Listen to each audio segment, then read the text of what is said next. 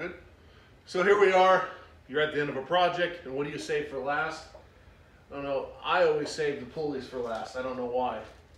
Uh, it always seems to work out that way. And uh, you're wondering what size serpentine belt you should use. And uh, the traditional method, most people will tell you to, uh, here, record these right here, to, to use a string around the supposed belt routing and then measure the string.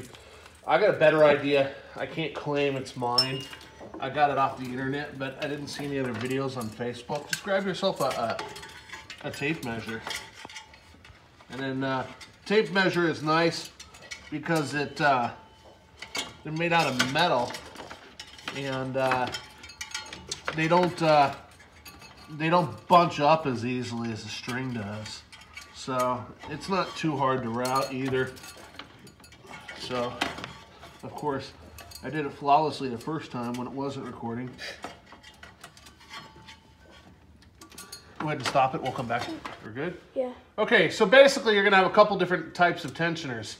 Uh, one of them is gonna be a rod like this, and uh, it helps to put it basically in about the middle of the travel, so you have adjustment room either way. Um, and this kind of pertains to most vehicles. Uh, the other one you're gonna have is a spring-loaded tensioner. Uh, it, it, it could be here, it could be over here, anywhere. Uh, so this is still not going to be quite exact. It's going to be more exact with something like this because this is rigid and it's not going to really move. But a spring-loaded tensioner, you're going to have a little bit of give either way. So after you get this measurement, you might still want to go to a parts store and get three of them within half inch of each other. But I did have a belt that was too short and uh, it was a 60 inch. And so I guessed I should be around 62 inches or so. And if you come right there, that's uh, five foot, almost five foot two.